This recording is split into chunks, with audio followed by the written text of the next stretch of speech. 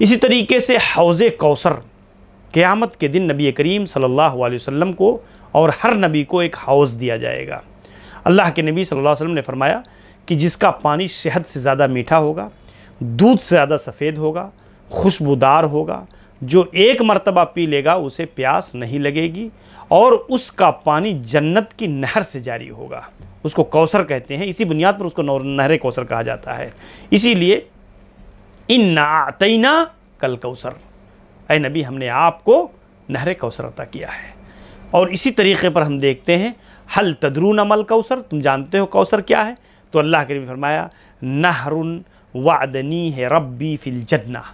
एक ऐसी नहर अल्लाह ने मुझसे जन्नत में उसका वादा किया है देने का। आनियतुन अक्सरोमिन अददिल कवाकिब। उसके जो बर्तन होंगे, सितारों से ज़्यादा होंगे, और तरीदहू अलैया उम्मती, मेरे पास कुछ ऐसे लोग आएँगे, फ़युख्तलजुल अब्द मिन तो मेरे पास मेरी उम्मत के लोग आएँगे, और फिर उन्हें दूर हटा दिया जाएगा, मुझसे हटा दिया जाएगा। फ़ाकूल, मैं कहूँगा, या रब्बी इन मिन उम्मती अरे अल्लाह, ये तो मेरे, मेरी उम्मत के लोग हैं।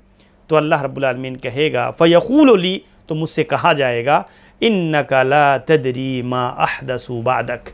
अरे नबी, आपको नहीं मालूम कि आपके दुनिया से चले आने के बाद इन्होंने आपके दीन के साथ कैसा कैसा मज़ाक किया था। नई नई बिदातें कैसे कैसे गढ़ी थी इन्होंने, और इसलिए पता चला कि नहर कौसर का पानी एक बिदाती को मैसर नहीं होगा। एक बिदाती को मैसर नहीं होगा।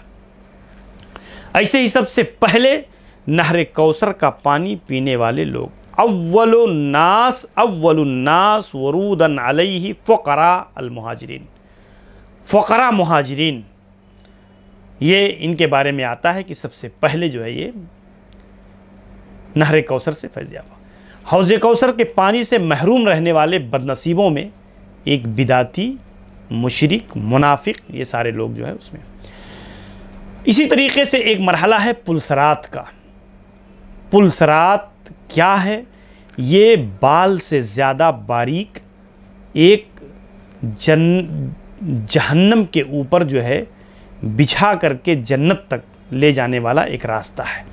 वो पुल है जो जन्नत तक पहुँचने के लिए जहन्नम के ऊपर बनाया गया है। अल्लाह रब्बुल वो इन मिन कुम इल्ला वारिदुहा। हर हर शख्स को उससे गुज़रना होगा और जहन्नम के ऊपर ये पुलसरात बिछाया जाएगा। और फ़ाकून अव्वल में यजूज़ मिनर रसुल बे उम्मत ही मैं पहला आदमी होगा जो अपनी उम्मत को ले करके उससे गुजरूँगा। अब आप देखें कि उस दिन मामला ये होगा कि फरिश्ते अल्लाह मसल्लिम अल्लाह मसल्लिम कहते नज़र आएँगे, अल्लाह तो हिफाजत फरमा, अल्लाह तो उस पर कांटेदार चीज़ें लगी होंगी, गुनाहों की बुनियाद पर उसे घसीट करके गुनहगार को वो गिरा देंगी और उस पर गुज़रने वाला कोई जो है बिजली की तरह गुजरेगा कोई तेज़ रफ्तार निगाहों की तरह गुजर जाएगा, कोई हवा की तरह गुजरेगा, कोई बारिश की तरह गुजरेगा, कोई तेज़ घोड़े की तरह, कोई घिसटते हुए, पिसटते हुए निकल जाएगा, और कोई आदमी क्या है, उससे गुज़र करके और वहीं गिर जाएगा।